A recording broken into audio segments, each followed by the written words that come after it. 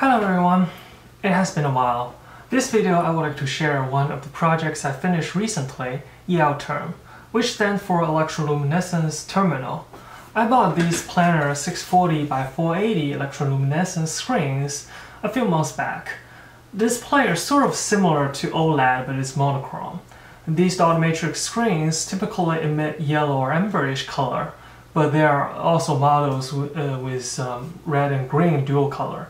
Naturally, I would like to make something with this screen, and I decided to make a serial terminal with it, so let's get started. This video contains the following parts. Processor selection, overall design, making hardware, writing the driver for the EL screen, implement the serial terminal, and final result. First is about processor selection. I would like to implement the whole thing with just a microcontroller. The serial terminal part should be okay, the original VT220 was based on a microcontroller anyway, but refreshing the screen might not. Most of the dot matrix screen technology requires constant refreshing, like at 60 Hz. Screen modules that's commonly used with microcontrollers are typically self-refresh screens. The screen module has its own memory and controller, and would refresh from its own memory without microcontroller intervention.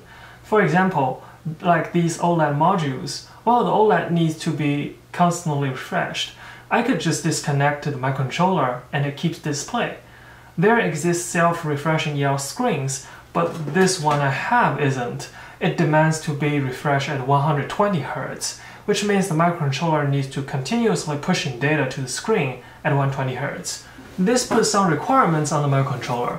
It will have to either hold the entire frame buffer in the RAM, or it could generate image data at a screen refreshing speed. Both works, but being able to store the frame buffer would be a bit more flexible. Then it should also be able to generate the timing needed by the screen. Obviously, one could do this with an FPGA, and I do have an FPGA video coming up in the future, uh, but that's for another time. For this time, many of the 32-bit microcontrollers work here. I chose the RP2040 from Raspberry Pi. Here are the main specs for the RP2040. Dual-core Cortex-M0, 264 kilobytes of SRAM, no internal flash, it executes code from SPI-Flash. The most important part for this project is it has the PIO, which is a microcode programmable I.O. module. I will show how to use it to drive the screen. Now let's take a look at the overall design. With the microcontroller in, I just need to fill in the interfaces I needed. The screen doesn't need any extra interface chips and could be connected directly to the microcontroller. The terminal needs keyboard input, so adding a PS2 port here. Of course, I could also just use the USB port of the RP2040 itself.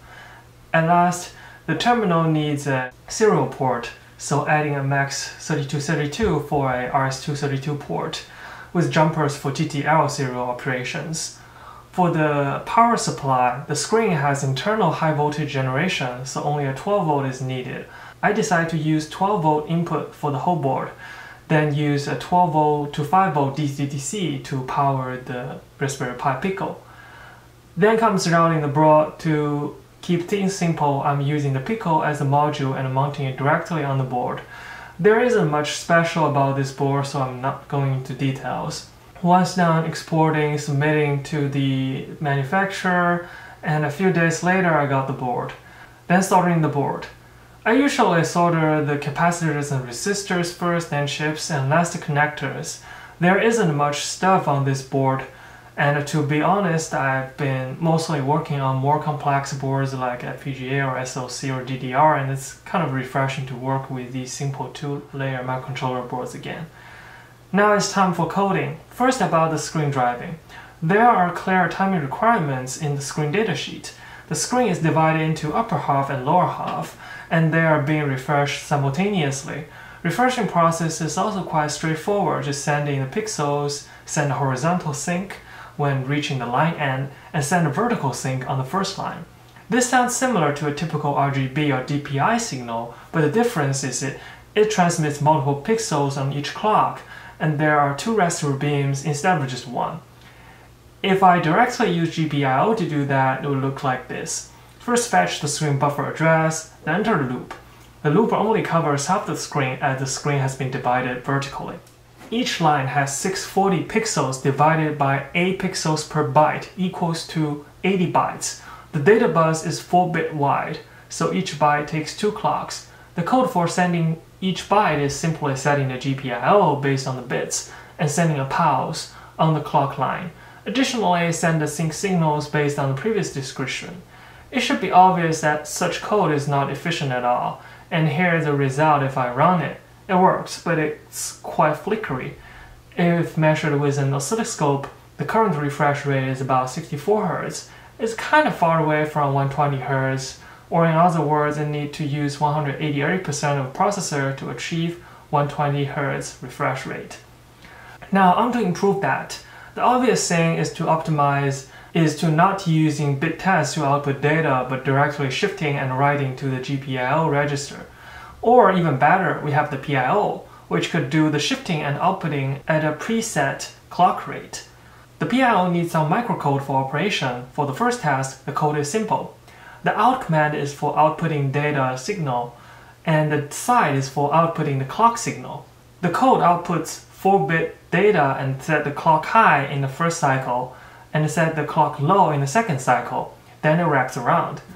The screen needs two data streams for the upper and lower part respectively. I'm going to just use two PIO state machines.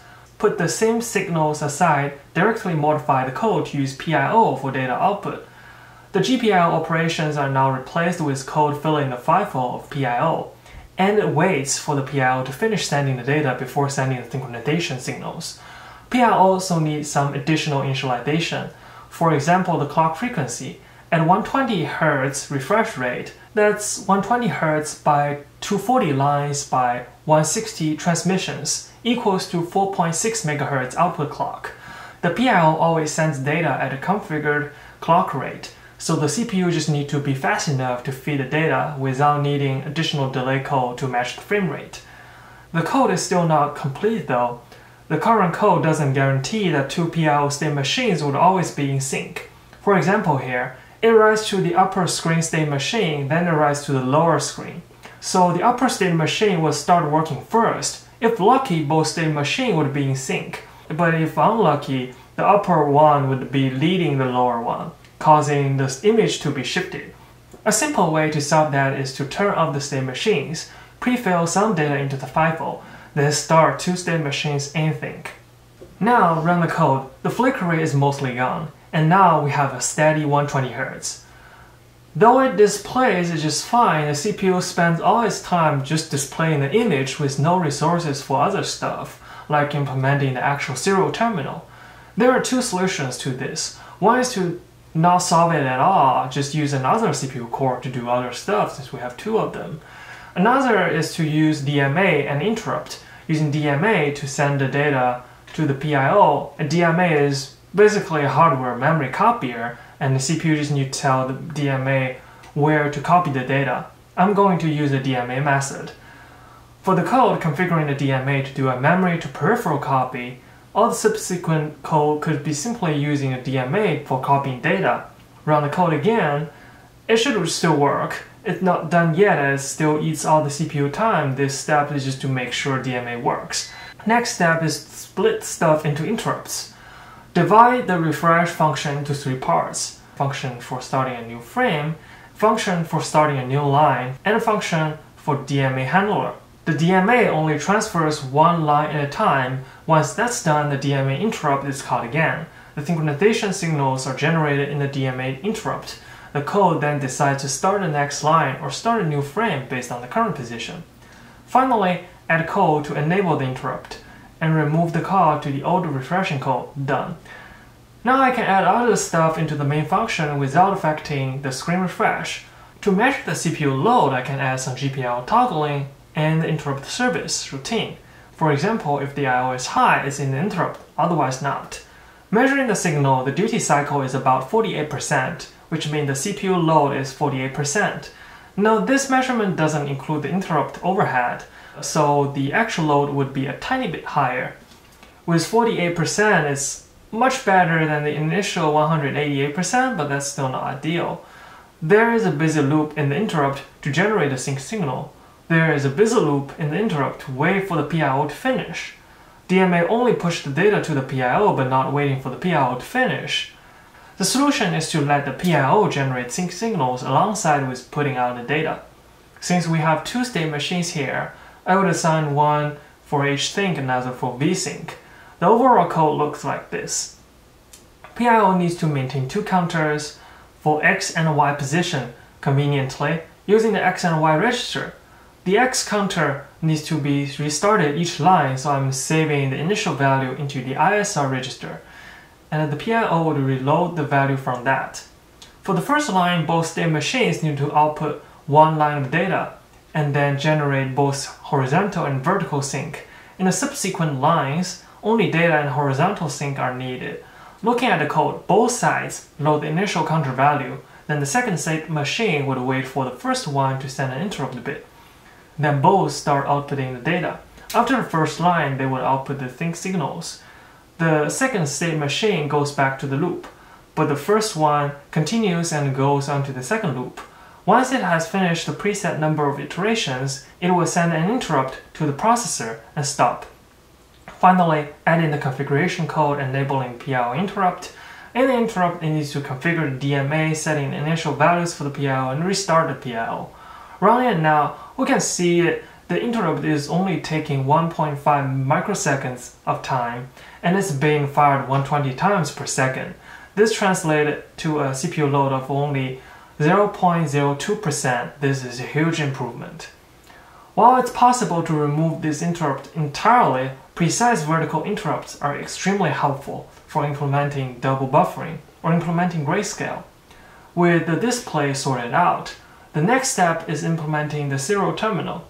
It might sound easy, which is basically you know, displaying whatever received from the serial port, then sending out whatever user typed on the keyboard to the serial port. So let's do it. Prepare a suitable dot matrix font, writing code for displaying the font, building a software FIFO for buffering data received in the serial interrupt, and fetched in the main loop. Keyboard-wise, RP2040 SDK has built-in support for USB keyboards using the TinyUSB library. So it's just a matter of translating the key code into ASCII and sending them. Easy enough, right? Unfortunately, no. Obviously issues. There is no arrow keys, function keys, or paging keys in ASCII. How do I send them? Then typically the host needs to send more than just text to the terminal. It also needs to tell the terminal where to put the text, what color the text should have, etc. Most of these are implemented with escape sequences. For example, to move the cursor to position 2, 4, one could use a sequence like this to implement. Hosters need to send this sequence, and the terminal should parse and do the corresponding task. There are a lot of these such sequences. I select and implement a few supported by Xterm, which also implement there are tons more I didn't support. Plus, there are even more subtle behavior differences between terminal standards, which could be quite daunting to figure out and implement correctly. For example, imagine the host keeps spitting out text until one line has been filled up. If it keeps printing, then text would go to the next line by default. But where should the cursor be by the time it has just, just been filled up? What if the application requires to move the cursor at this time? Does it happen before moving to the next line or before? To help with debugging testing, I end up porting this, the entire firmware onto Linux and Mac OS, so it functions as a terminal emulator. In conclusion, if one is looking to build a usable terminal, I would still suggest looking into existing libraries, such as uh, libtmt or libtsm, but otherwise it could be fun to start from scratch. Now let's run it and see it in action. I'm connecting it directly to the Raspberry Pi, like running Paint or running HTOP. It's a serial terminal, so there is no graphical display.